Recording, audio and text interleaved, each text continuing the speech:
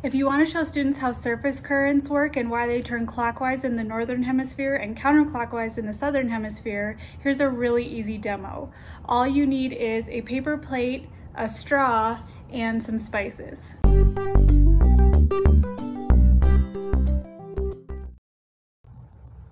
You're gonna put a little bit of water in your plate, just enough to cover the bottom, and then take your spices. It doesn't really matter what you use. I'm using crushed mint and sprinkle along the surface.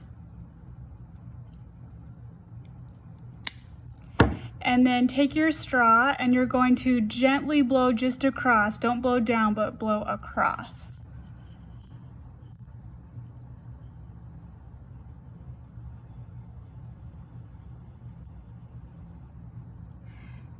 And have students make observations. What do they notice about how the spices are moving?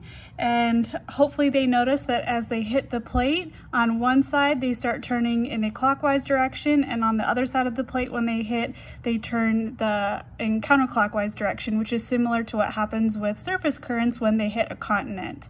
So in the northern hemisphere, they hit a continent and turn clockwise. In the southern hemisphere, once they hit a landmass, then they'll turn counterclockwise. If you don't have enough supplies for students to do it on their own, then it's something that's really easy that you could put under the document camera and just project up on the screen. So hopefully that helps.